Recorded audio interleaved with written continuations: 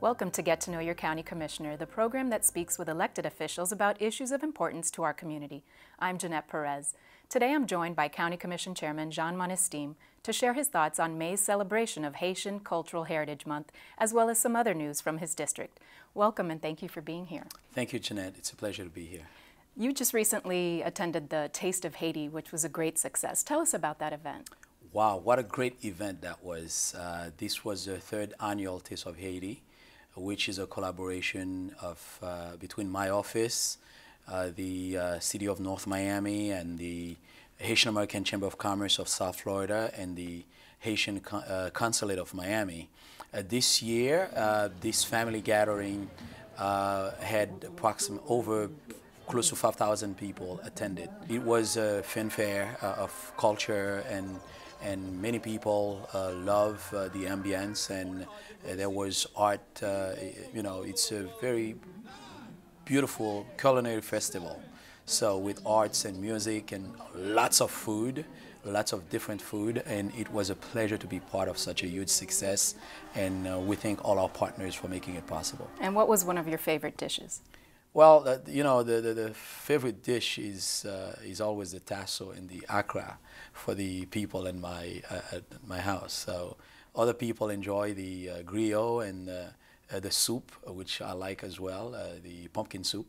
And, but it was too many, and, and, it was all good because that we have many chefs, Haitian chefs, from throughout the United States and in Haiti and in Canada. So they, they did a good job this year.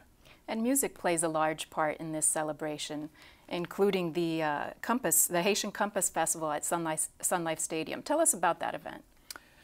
Well, the Haitian Compas Festival, uh, it's, it's an annual event that's been taking place for the last 17 years, and, and this year it was huge. Uh, I was invited and attended uh, uh, with uh, some friends and family members. there were probably over 30,000 people there. Uh, and um, this was not my first time. Uh, it appears that this year it was extremely well organized, better than years past, and people from throughout the world uh, come to this festival. Uh, it's I, the largest. It's the largest in the, in the United States, right? Uh, yes, and probably in the world.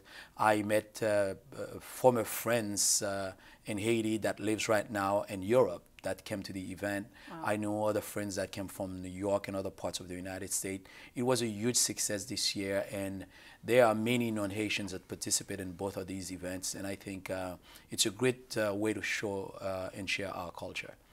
And there's also a lot of artwork displayed in several places throughout the county.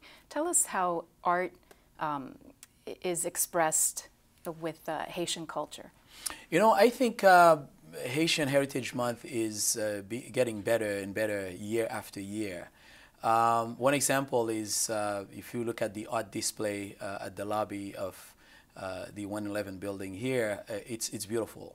We have two world-renowned artists, uh, Mr. Dodard and, and Tougo Bastien.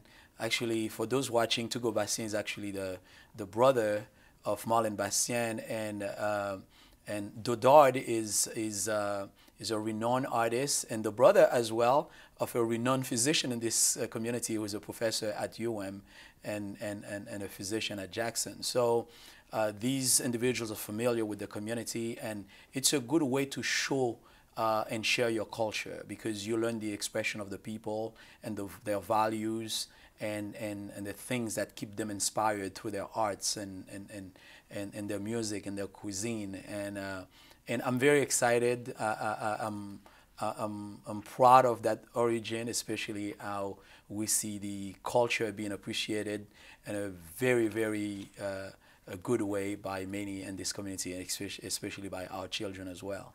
And that artwork is certainly beautiful. I've had a chance to, to pass by it every, every morning and every afternoon when I go home. Another artist that is also part of the exhibit uh, who's homegrown here is uh, Jude Papaloko. And oh my God, his pieces are beautiful. I didn't want to forget that. And see, because he's local, I'll give a shout out to Jude Papaloko. He's, he's a wonderful artist. Tell us about another event called the Haitian History Bee taking place on the 27th of this month. Who participates in that? Um, uh, the participants are mostly uh, elementary, junior high, and high school children. And uh, uh, this year is the fourth annual Haitian History Bee. Um, many schools throughout the county uh, participate in that event. Um, the organizers uh, asked the teachers of the schools and to prepare these uh, children, boys and girls, for two months prior to the event. Uh, it's going to be at the end of the month right here at County Hall for the first time. And look, it's going to be interesting to see uh, how many young non-Haitians studies Haitian culture and history and knows it well and appreciate it. And I, I, I, I would say, I think one of the last years, the champion was uh, a non-Haitian a child. So I'm telling the Haitian parents right now to actually uh, keep moving with uh, educating uh, uh, our, our, kids because other people are learning and, and some of them are really getting good at it. Uh, so, but uh, this, these children, they're studying very hard and history is history, you know. Um, the world is becoming a, a, world with no boundaries and therefore it's important for all children to learn all history and be part of it and, and use it fruitfully uh, in their future endeavors. So there's definitely something for everyone. There's something for everyone. Let's switch now to uh, news in your district. I think you wanted to share something about the uh, Jackson Urgent Care Center, a new urgent care center in your district? Uh, what a wonderful opportunity uh, that is that uh, uh Jackson is, is, will be opening its first uh, uh, urgent care center in my district on Biscayne Boulevard on 131st Street, the city of North Miami. But I'm excited that the, the urgent care center is, um, is coming to the area.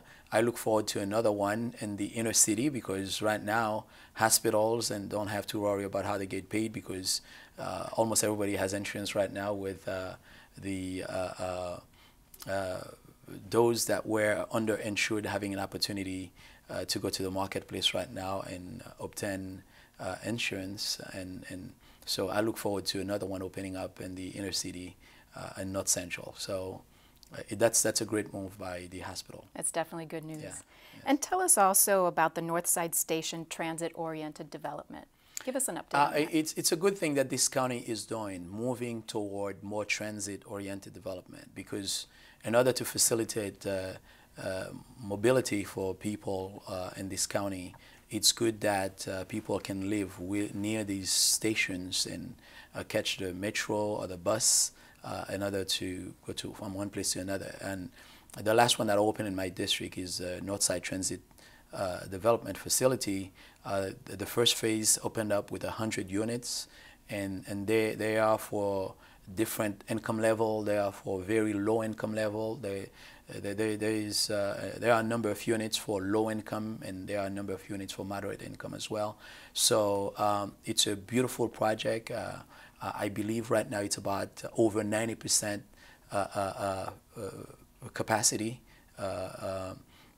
so it's, it's, it's another beautiful project in the district and to all the partners I say thank you and the, to the family that are enjoying a, a, a good place uh, to raise their children, I tell them congratulations.